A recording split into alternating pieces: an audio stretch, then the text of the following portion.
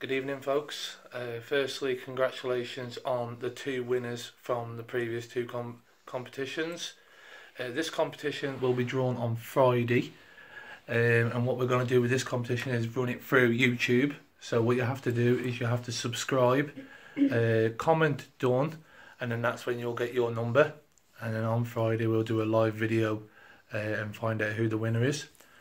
This uh, week we're going to be doing uh, a free MOT giveaway, two new tyres, uh, which are budgets, or uh, if we reach 300 subscribers, we'll do a £150 voucher for a shop of your choice.